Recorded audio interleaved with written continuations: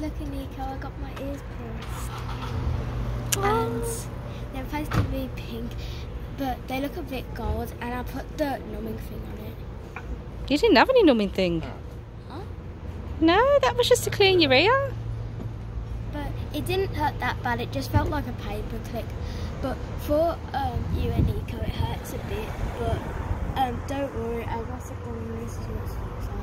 Looks it so it cute. didn't let me film in the place um, because it was a men's barber shop, so we wasn't allowed to. But um, Let's tell the wounded to Demi because I think she paid something like was it seventy quid?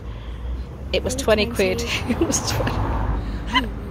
oh god. No, it's probably because um, the earrings were 3D, kind of.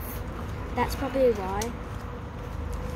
Because um, Anika's earrings were 3D and rainbow. That's probably why she had to pay extra. That's a lot extra bid. They look very pretty. Well done.